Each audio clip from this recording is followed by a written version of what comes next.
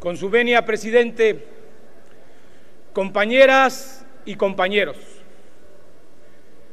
se ha venido a hablar aquí de muchas cosas y particularmente creo que existe una pequeña confusión.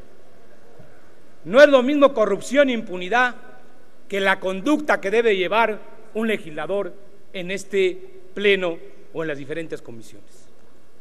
No podemos estar en contra de la disciplina y el orden. Por supuesto que son valores importantes y fundamentales que deben regir el comportamiento de todas las personas. Pero hay temas más importantes que el día de hoy tendrían que estarse tratando con toda claridad.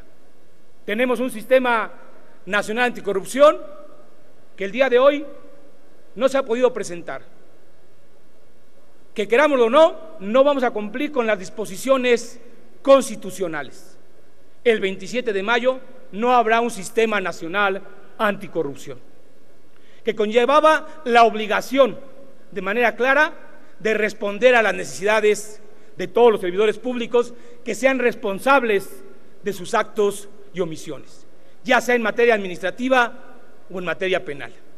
Y hoy estamos discutiendo una propuesta de un código de ética, que dicho sea de paso, es la que regula los principios y los valores y el actuar de todos y cada uno de nosotros. Y contra eso, por supuesto que no podemos estar en contra.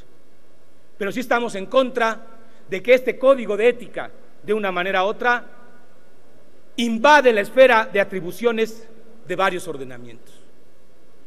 De manera clara, un código de ética no podría ser pugnitivo, porque va con los principios y los valores. También hay varias disposiciones en el código que hablan de una manera u otra de lo que ya está normado en esta Cámara. En la Constitución Política, en el artículo sexto, séptimo, el 61, en la ley orgánica, en el propio reglamento, pero nosotros no podemos detener el progreso de la nación y por supuesto que creemos que tiene que haber disciplina y orden en esta casa, en la casa del pueblo, para que eso nos debemos. Pero no confundamos, con una manifestación no se está deteniendo el crecimiento de México. Con una interpretación o una interrupción no se está quitando nada al Estado mexicano, se siguen produciendo productos legislativos importantes para este Congreso, para esta Cámara de Diputados. Hoy el Partido de la Revolución Democrática, porque encuentra varias condiciones que tendrían que irse corrigiendo, no está en contra de la disciplina y el orden.